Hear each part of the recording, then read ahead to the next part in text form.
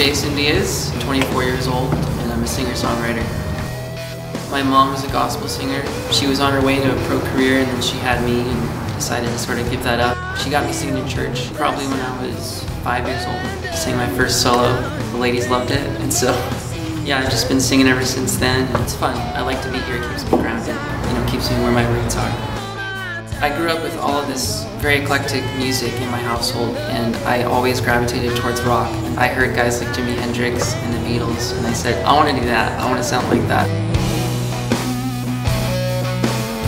The record kind of is thematically about my life over the past two years. I lost someone who was really close to me. And since then, I've just been processing all of that lyrically and trying to get that out on paper. When I got serious about finishing this record, the songs just started to flow and you know, the melodies came with the words, and I'm really proud of it. It's called Stomp Out the Sun.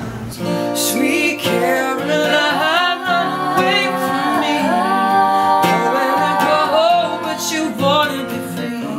this record and the songs that I write, there's always more to the story. I think it'll mean something to you, and it's more than just a good hook. It's more than just a flashy guitar part.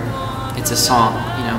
And that's how songs used to be. They used to say something, they used to connect with you. I want to write music that people connect with, but that it's also timeless, that you can listen to 25 years from now and still get and still feel like this is relevant. You know, it's something that's going to last more than one generation. Yeah, hey, hey,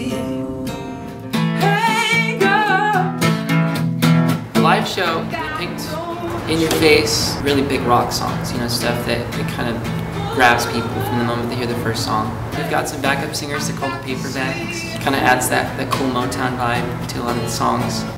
We got that really great vintage sound with this record, and that's what I'm all about. I love that stuff. I just, I love that classic sound through and through. All the way to my hair, man. nice.